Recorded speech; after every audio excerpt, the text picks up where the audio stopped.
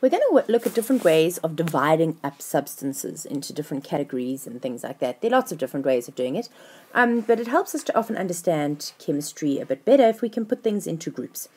So the first differentiation we're going to make is one that we made in grade 8, and it's the difference between a pure substance versus a mixture. We might have even done it in prep school. A pure substance has only got one kind of elementary particle in it. Doesn't mean it's only got one type of atom. It's got one type of elementary particle. And what is an elementary particle? An elementary particle is either an atom or a molecule or an ion.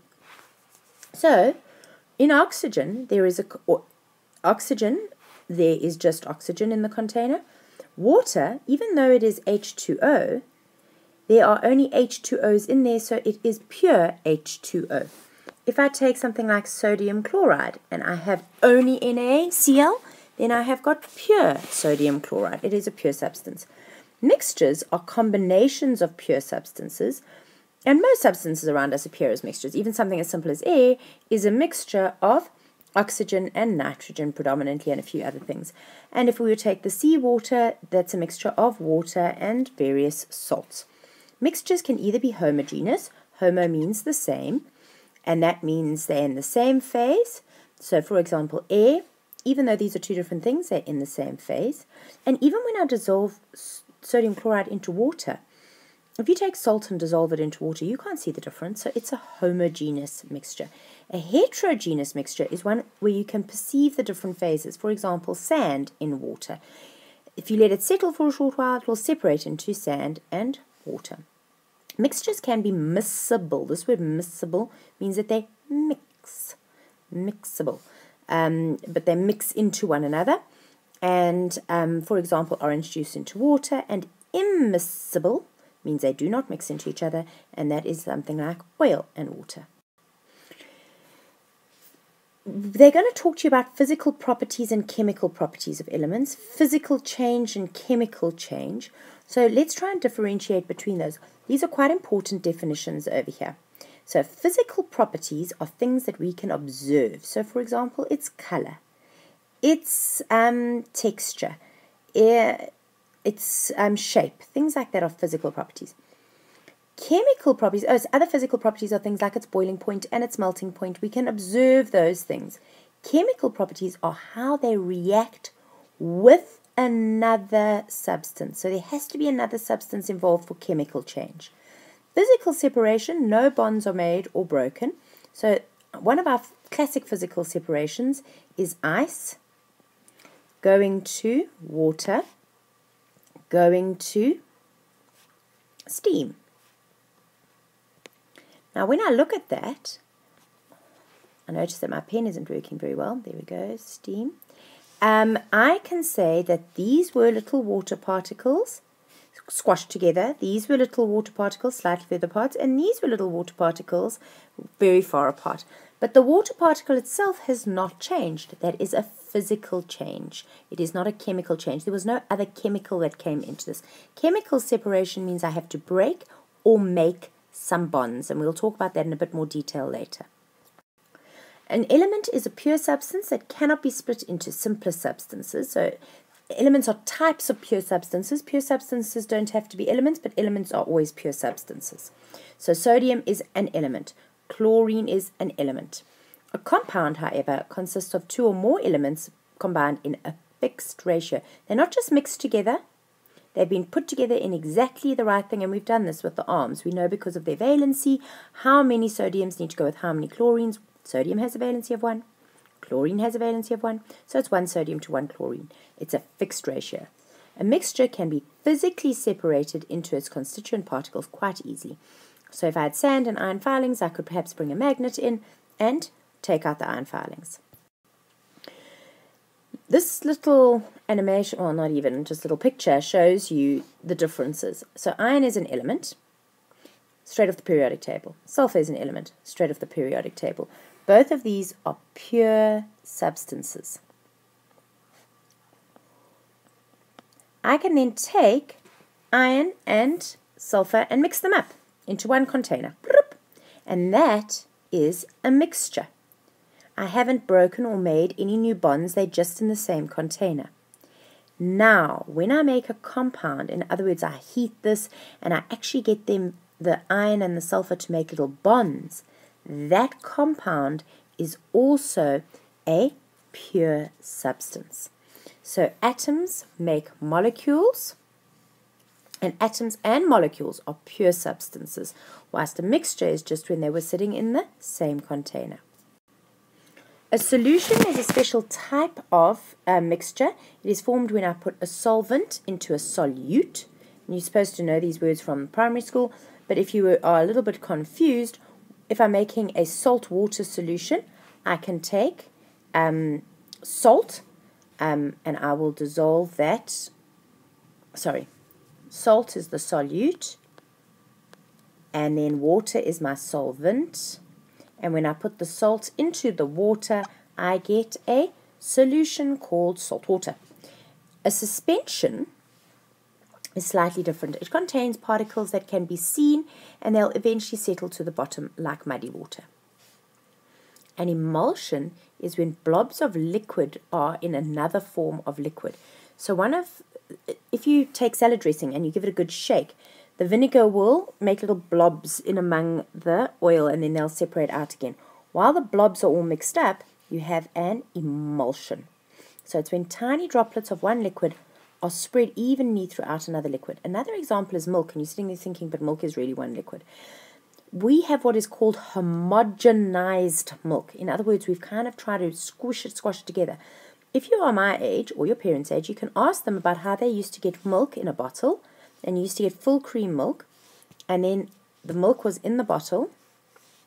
I'm just going to try and draw a picture of milk in a bottle.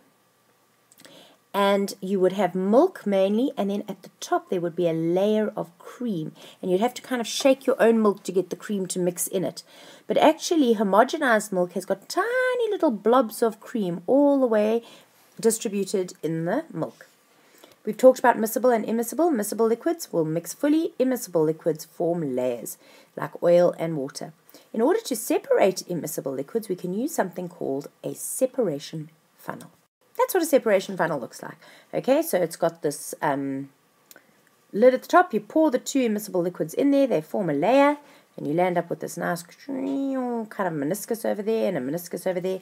And then using this tap, you can tap off the first layer and then you stop it perfectly over there and then you can grab whatever is in the second layer. So for example, that could be oil, that could be water, and you could separate them out using a separating funnel. I could, in a test or an exam, start giving you diagrams of various types of equipment that you would have to be able to label. So if this was oil and water, you, I think, should know that oil floats on water. So oil's at the top and water is at the bottom. I may also ask you to label some of the apparatus. So this over here would be a separating funnel.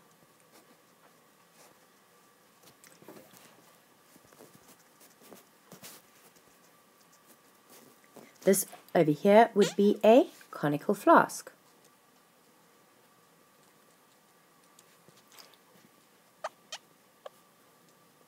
This over here would be a retort stand. And you are expected to have kept this kind of information in your brain cell since grade 8. Okay, this is actually called a ring boss head, but you don't have to really know that one. Physical properties also often allow us to separate different substances from another, one another, such as their melting point, boiling points, color, density can let us do this. Can you think of ways of separating different quality fruit? Well, you can hand pick them. The yucky fruit you put on one side and the lekker fruit you put on the other side using your hands. This is known as hand sorting. It's very expensive though because it requires this thing called a human being and that's a problem. How can iron filings and sand be separated? Well, iron filings are magnetic and sand is not magnetic, so you can use a magnet to pull out the iron filings. How could sand and sugar be separated by using the solubility of one substance? Sugar will dissolve in water.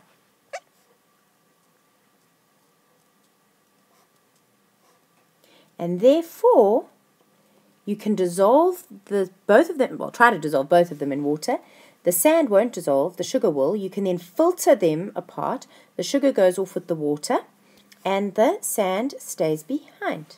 You could then evaporate off the water if you wanted to.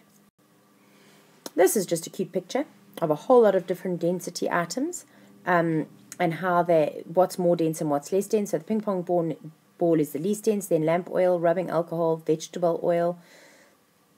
This is plastic. Then you've got these little plastic beads, a different type of plastic, water, a tomato, which is kind of halfway between water and soap, milk. There's a little dice in here, but you can't see it. Um, syrup, maple syrup versus corn syrup. There's a little popcorn kernel in the middle of that, some honey, and a bolt sitting made of iron at the bottom.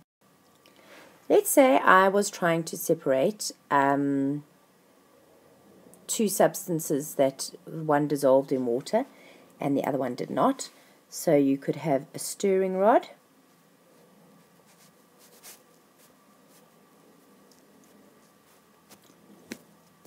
This thing over here is a beaker.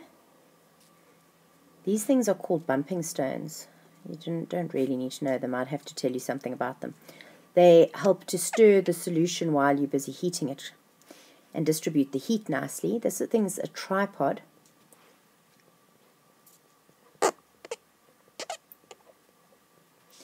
This is a Bunsen burner.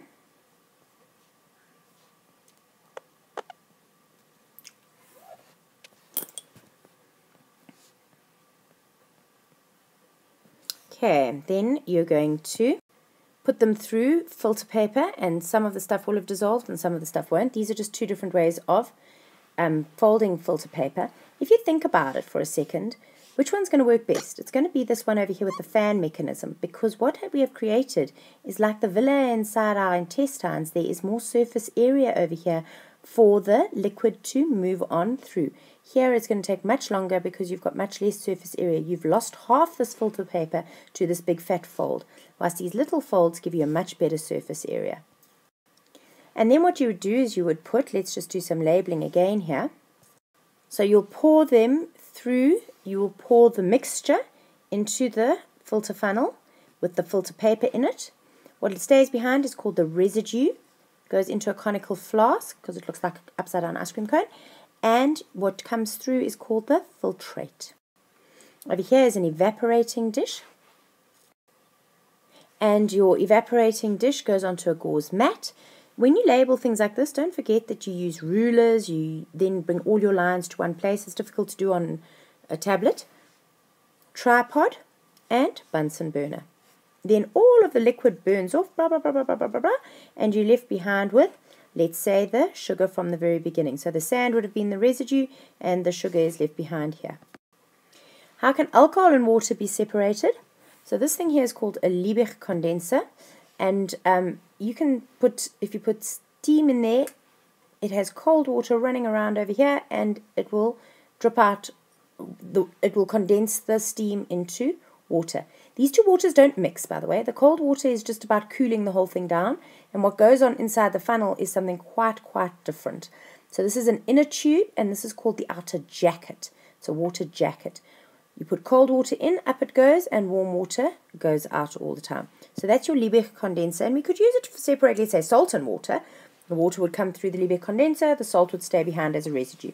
But what about alcohol and water? You can put a thermometer into a flask, and then what happens is the first thing to boil off will be the lower boiling point substance. Then all the energy is given to that to allow it to come and boil over. And alcohol boils at some 60 something, I don't know, let's call it 63 degrees. And water, as you know, boils at 100 degrees.